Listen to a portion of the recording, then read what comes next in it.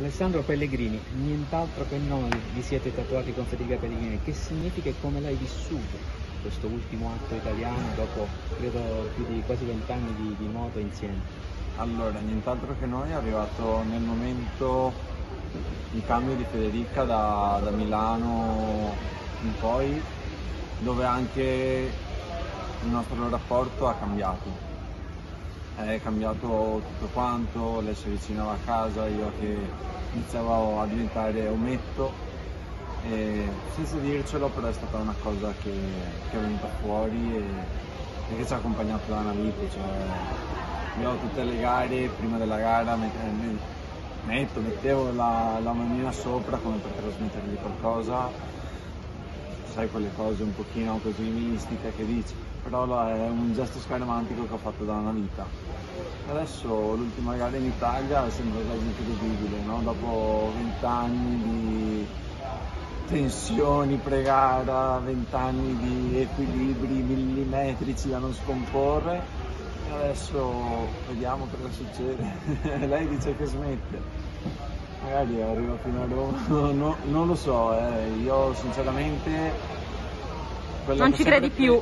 No, più che altro ho sempre pensato che lei, per carità, la situazione dove ha fatto l'ultima gara in Italia adesso è bellissima perché appunto ha un cambio di gare non indifferente, cioè quello che sta creando ISL secondo me è qualcosa di fantastico perché oltre all'atleta però c'è anche una squadra dietro, mentre su, sulle classiche gare si guarda più all'atleta e basta, adesso c'è anche un, una questione di gara, eh, di, di, di, squadra ed è una cosa bellissima secondo me, poi l'intrattenimento eccetera. Però io spero sempre che faccia un ultimo 200 a Roma, a casa sua, nella sua piscina.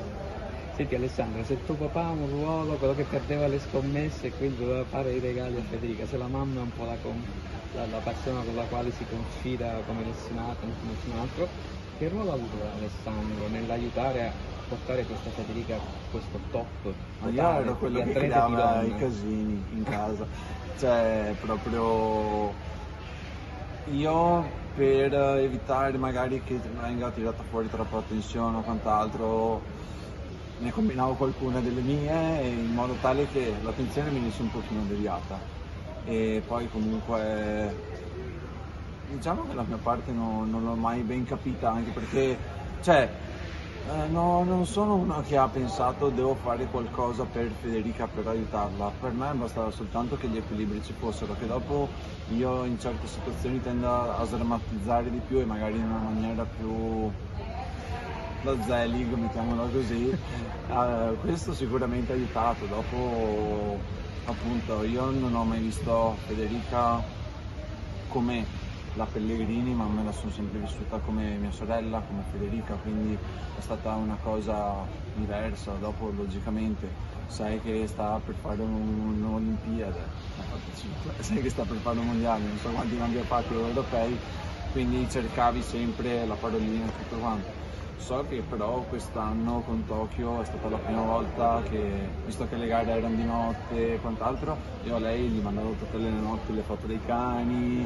mi diceva guarda Fede che stanno benissimo e così, quindi in questa situazione. I video stupidi di notte con Rocky che russava c'è stato anche pancia in su glielo mandavo l'ultima un, un, fratello non può non giudicare i fidanzati allora eh, Matteo come è entrato nella vita è stato tutto secondo te e adesso che succederà nella vita di Federico allora diciamo che io ero una delle persone informate dei fatti fino all'inizio. Forse addirittura il primo non su tutti quanti Uh, io se vedo Federica che è protetta, sta bene, ci credo.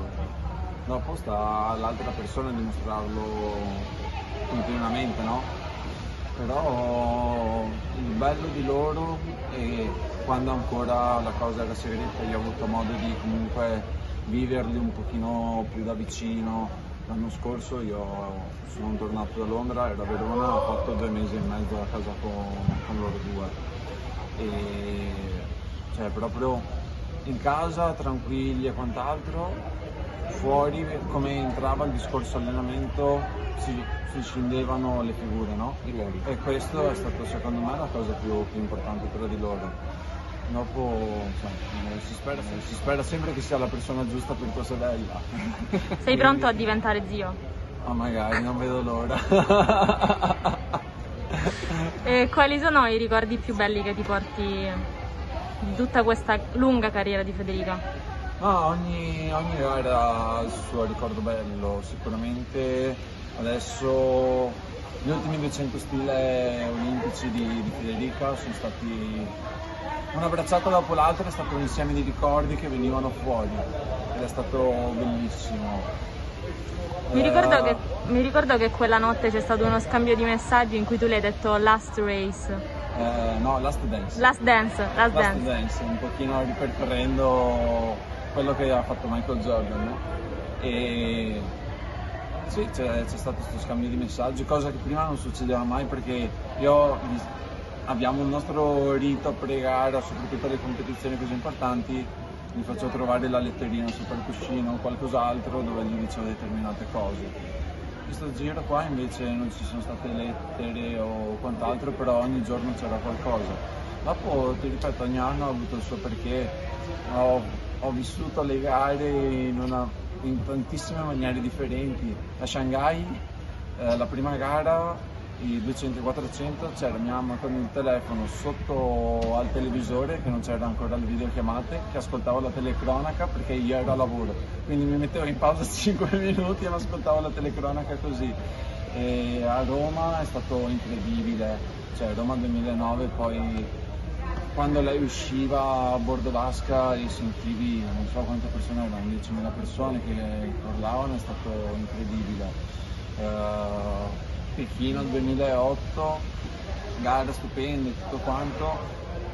Faccio il turno di apertura al Florian quella mattina, arrivo, avevo già qualche collega fuori là che stavamo aspettando di aprire, inizia a urlare, è partita una festa in piazza San Marco alle 8 di mattina con i colleghi del Florian, quindi ogni, ogni gara ha il suo perché, ogni gara ha il suo ricordo, è stato vent'anni incredibili.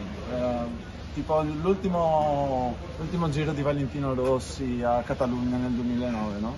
È stato proprio vent'anni così, come se fosse sempre l'ultima perché dopo diceva sempre no basta, no basta e alla fine tornava e quindi è sempre stato lungo. Adesso l'ultima è Eindhoven, Last Dance a Eindhoven, ci vediamo a Eindhoven. Ah, spero, devo sentire al lavoro però spero di esserci. Spero. Grazie cioè, mille. Mi. Grazie, Grazie a voi.